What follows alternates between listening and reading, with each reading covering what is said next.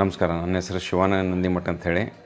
ನಾನಿಲ್ಲಿ orange tree ಅಪಾರ್ಟ್ಮೆಂಟಲ್ಲಿ ಕಳೆದ ಸುಮಾರು ನಾಲ್ಕೂವರೆ ವರ್ಷದಿಂದ ಇಲ್ಲೇ ಇರ್ತಾ ಇದ್ದೀನಿ.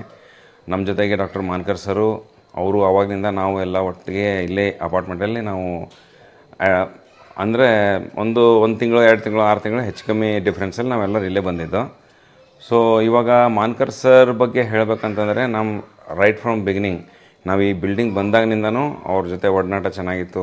ಆಮೇಲೆ ಅವರು ಈಸ್ ಅ ಲೈಕ್ ಅ ಇವಾಗ ಡಿ ಆಗಿದ್ದಾರೆ. ಬಟ್ ಮುಂಚೆ ಇಲ್ಲೇನಿದ್ರು, ಯಾವ ಪೋಸ್ಟಲ್ಲಿದ್ರೂ ಕೂಡ ಅವರು ಭಾಳ ಹೆಲ್ಪಿಂಗ್ ನೇಚರ್ ಕೋವಿಡ್ ಟೈಮಲ್ಲಿ ನಮಗೆ ಇಲ್ಲಿ ಎಷ್ಟು ಕ್ರಿಟಿಕಲ್ ಸಿಚುವೇಶನ್ ಇತ್ತು ಅಂತಂದರೆ ನಮ್ಮ ಅಪಾರ್ಟ್ಮೆಂಟಲ್ಲಿ ಸೊ ಸರ್ ಮಾನ್ಕರ್ ಸರ್ ನಮಗೆ ವ್ಯಾಕ್ಸಿನೇಷನ್ಸು ಮ ಫಸ್ಟ್ ವೇವ್ ಇದಿರಲಿ ಸೆಕೆಂಡ್ ವೇವ್ ಇದಿರಲಿ ಆಮೇಲೆ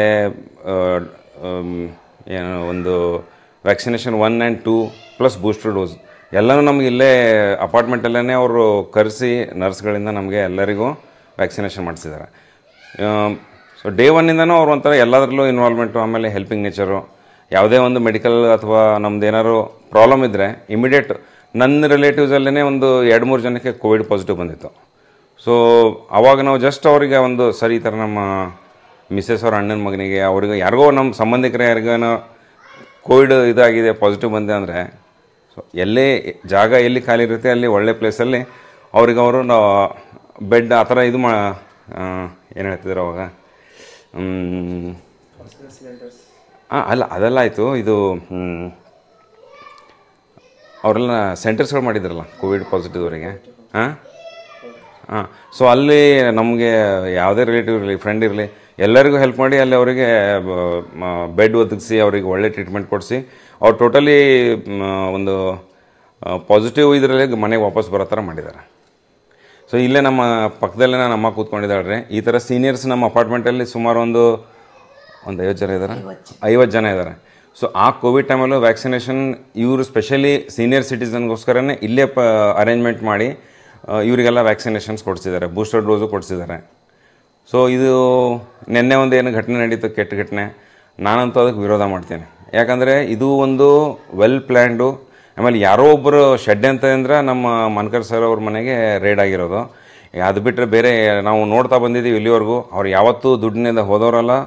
ಆಮೇಲೆ ದುಡ್ಡು ಗಳಿಸ್ಬೇಕಂತ ಅವ್ರಿಗೆ ಆಸೆನೂ ಇಲ್ಲ. ಯಾಕಂದ್ರೆ ಎಲ್ಲನೂ ಏನೇ ಮಾಡಿದ್ರು ಅವರು ಫ್ರೀ ಆಫ್ ಕಾಸ್ಟು ಸೊ ಇಲ್ಲಿ ನಮ್ಮ ಅಪಾರ್ಟ್ಮೆಂಟಲ್ಲಿ ನೀವೇ ಲೆಕ್ಕ ಹಾಕಿ ನಮ್ಮದು ಒಂದು ನೂರ ಆರು ಫ್ಲ್ಯಾಟ್ಸ್ ಇದೆ ಇಲ್ಲಿ. ನೂರ ಆರು ಫ್ಲ್ಯಾಟ್ಸಲ್ಲಿ ಹಸ್ಬೆಂಡ್ ವೈಫ್ ಅಂದರೆ ಎರಡಾಯಿತು. ಸೊ ಅದೊಂದು ಇನ್ನೂರು ಮುನ್ನೂರು ಟೋಟಲ್ ಮಕ್ಕಳೆಲ್ಲ ಹಿಡ್ಕೊಂಡ್ರೂ ಒಂದು ಸುಮಾರು ಒಂದು ಐನೂರು, ಆರುನೂರು ಜನ ಇದ್ದೀವಿ ಇಲ್ಲಿ ನಾವು.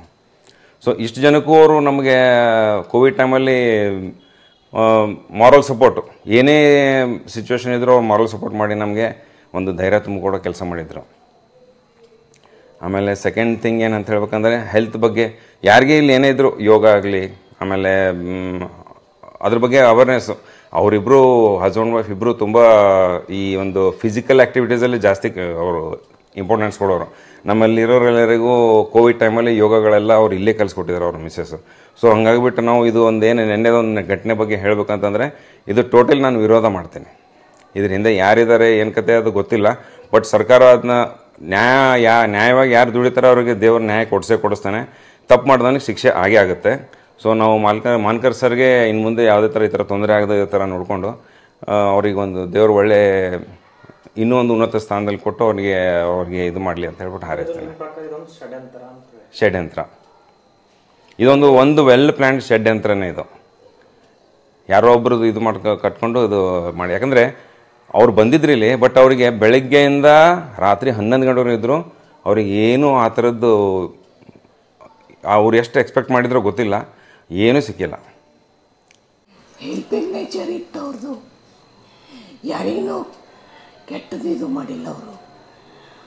ಎಲ್ಲ ಅಪಾರ್ಟ್ಮೆಂಟ್ದಾಗ ಸೋಷಲ್ ವರ್ಕ್, ಎಲ್ಲ ಅವರು ಸರಿಯಾಗಿ ಮಾಡ್ತಿರು